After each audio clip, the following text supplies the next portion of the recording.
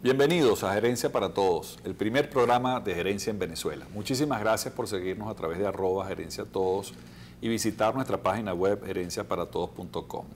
Hoy vamos a conversar sobre la gerencia de la información, cómo estar mejor informados, cómo consultar las diversas fuentes y así formarnos una mejor opinión sobre cualquier tema. Por eso nos acompaña hoy el periodista Ignardo Bravo. Muchísimas gracias por estar con Gracias nosotros. a ustedes por invitarnos. Que ha trabajado en diversos medios de comunicación, entre otros RCTV, estuvo también en Canal I, además fue director del diario El Nuevo País, entre otros medios. También está ahora conduciendo un programa informativo en tnoradio.com. Quisiéramos comenzar por ese punto, es decir, toda persona necesita información para actuar de la manera más eficaz en su ambiente, en este caso en el ambiente económico o en el ambiente gerencial. ¿Cuáles serían los primeros pasos que un emprendedor, un empresario debe seguir para formarse una opinión más acertada y funcionar mejor? Bueno, eh, no es tan fácil en este momento porque evidentemente la polarización en la que se encuentra el país dificulta esa tarea de una forma más expedita, ¿no?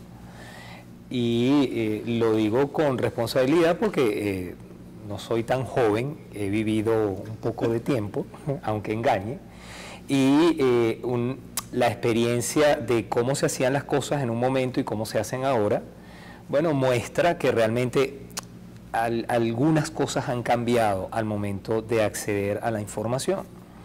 De hecho, hace mucho tiempo no existían las, las redes, ya vamos por el 3.0, de 2.0, 3, de- vamos a llegar al 4, al 5 y seguramente al 10. Y este, e- eso ha hecho una gran diferencia. De, de hecho, valga la redundancia, eh, yo estoy actualmente en un medio digital, que es Teneo Radio.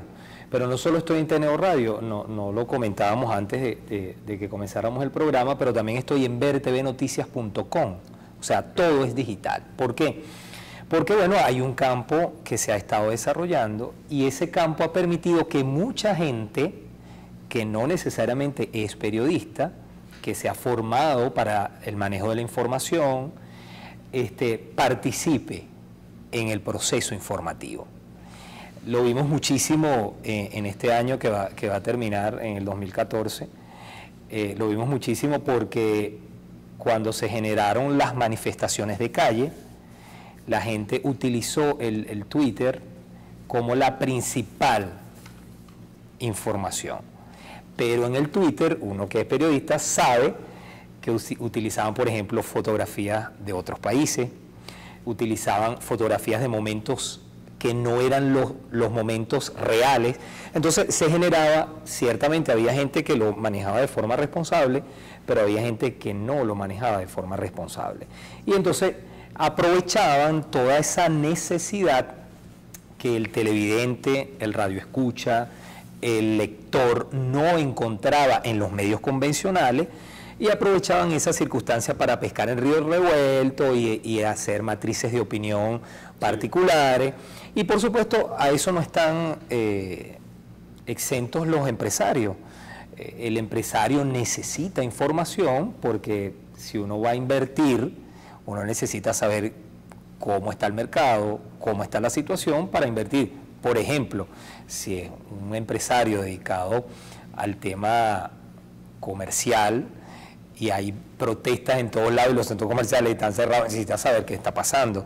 Yo, yo creo que la información es vital y es vital en general para la vida. Yo, yo pienso que las empresas internamente, por eso además tienen áreas corporativas, que una, eh, una buena política de información hacia el personal mantiene al personal, digo, hasta un momento contento, al día con lo que está pasando en la empresa y lo mantiene cerca, cercano. Yo, yo creo que uno de, lo- de los errores que se han cometido es satanizar la información, porque cuando uno está informado y está bien informado,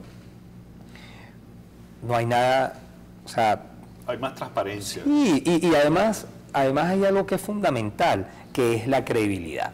O sea, yo creo que estamos ahorita muy carentes de credibilidad y eso le hace daño al Estado, a las empresas, a todo el mundo. Eso no le hace daño solamente a un gobierno, le hace daño a un país. Ahora, ¿cómo deben actuar los comunicadores profesionales, los periodistas y también los consumidores de esa información para distinguir cuál es la información, digamos, precisa u objetiva y poder analizar cualquier situación? Eh, tú mencionabas el caso de los inversionistas o quizás un emprendedor que va a iniciar su negocio necesita, digamos, información ambiental, bueno, cómo está la economía, cuál es el mercado, quiénes son mis consumidores, o sea, tiene que ordenar eh, la información y buscarla en las fuentes más adecuadas. Mencionaste también el hecho de que las empresas, muchas empresas tienen un área de comunicación corporativa.